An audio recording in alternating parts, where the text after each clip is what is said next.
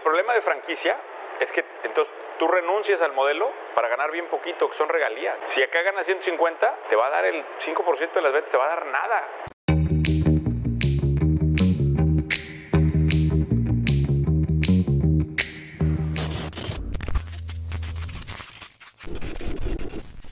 Tengo una Venga. nosotros, para poner un salón de belleza, o sea, nosotros ya tenemos bien el modelo de negocio y cómo lo podemos operar de esa forma. Por ejemplo, el staff que necesitamos, de que una persona la recepcionista, una persona que se encarga de estar dando informes a través de redes sociales, las estilistas.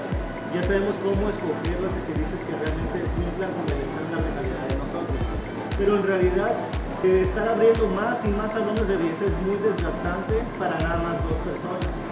Entonces, yo sí he tenido entendido de que la forma más fácil de poder hacer dinero sin límite es a través del modelo de franquicia, poderlo volver una franquicia.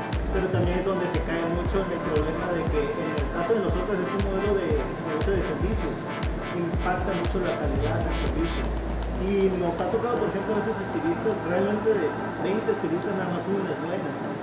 Y de, y de, por ejemplo, si llegáramos a vender el modelo de franquicias y el nuevo dueño no le pone empeño a seleccionar correctamente el personal, va a echar a perder el nombre del, salón. El problema de franquicia es que entonces tú renuncias al modelo para ganar bien poquito, que son regalías. Si acá ganas 150, te va a dar el 5% de las ventas, te va a dar nada. ¿Qué es lo que hay que hacer? En lugar del modelo de franquicia, hay otros modelos, pero es que aquí es en donde tienen que abrir la caja de herramientas. El modelo de franquicias está acá. El modelo de yo hago, yo opero está acá. Y en medio hay un modelo que se llama licenciamiento. No es yo hago todo y tampoco es yo entrego todo. Está a la mitad. Pero el licenciamiento también tendríamos control absoluto sobre el personal que está. Correcto. Cuando tú tienes el licenciamiento, tú tienes tres partes. La marca, que son ustedes, el inversionista y el talento, que es el socio operador. No son socios, son empresas diferentes, las cuales están unidas por un contrato de licenciamiento para ejecutar una labor específica. Vamos a pensar que aquí Luis le dice, oye Luis, mientras viene la gente aquí a, la posada, yo creo que se pudieran arreglar. ¿no? Vienen, se relajan y una vez les hacemos un corte. Vamos a pensar que fuera una hipótesis. Oye Luis, y Luis te dice, pues ya, yo te pongo el dinero. Pero yo no sé de salones de belleza. Entonces tú te encargas de encontrar el socio operador. Luis te pone la inversión para ponerlo aquí y tú eres la marca. Y se dividen las responsabilidades completas. ¿Qué hace él? ¿Qué hace el inversionista y qué hace el socio operador? Y hay responsabilidades específicas para cada parte que si hay un incumplimiento, pierdes el contrato.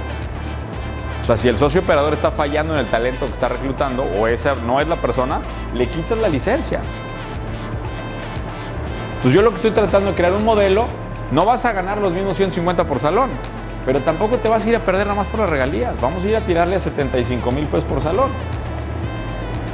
Entonces, si decíamos que ocupamos 24 salones, ahora, como es el doble, porque nomás nos va a dar la mitad, son 48 salones de franquicia, perdón, de licencia.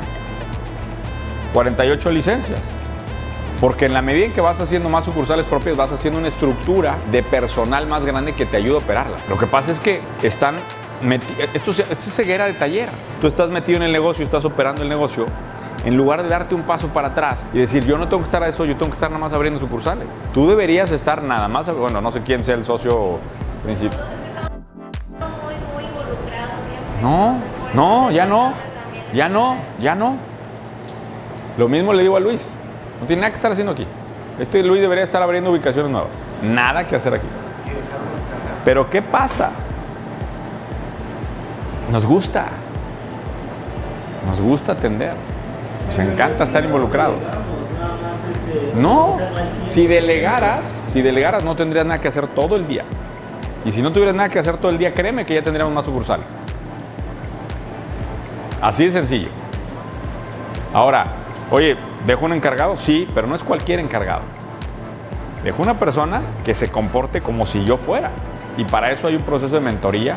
Hay que estar dándole mentoría semana con semana para que se comporte como queremos. Esa- ese comportamiento idéntico se llama conciencia compartida. La persona tiene que operar como si fueras tú. haz cuenta que estás hablando con el mismo Luis, más que ya no se llama Luis, pero te responde igual, se queda en la noche a atenderte igual, tiene ese sentido de hospitalidad, pero eso se logra con mucho tiempo de, mentoría, mentoría, mentoría, mentoría, mucha mentoría. Ti- Tiras la meta acá arriba y caes acá. Están tirando la meta aquí. Pues claro que caen ahí, güey. O sea, dicen los gringos, hay una frase en inglés. Como que dispárale a la luna y caes entre las estrellas. Pero pues le disparamos aquí a dos cuadras, pues caemos ahí. No,